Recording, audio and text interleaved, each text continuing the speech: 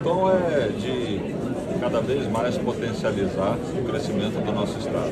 É o crescimento o desenvolvimento que gera oportunidade, sem descuidar um minuto sequer daqueles e daquelas que não estão acessando essas oportunidades. Então o nosso uh, foco vai ser em cima desse ambiente de desenvolvimento, de crescimento, a confiança que o Estado tem gerado no capital privado eh, e buscando sempre estender a mão para quem precisa. E claro, a Assembleia Legislativa é a casa que tem a condição de fazer um debate sobre todas essas políticas públicas.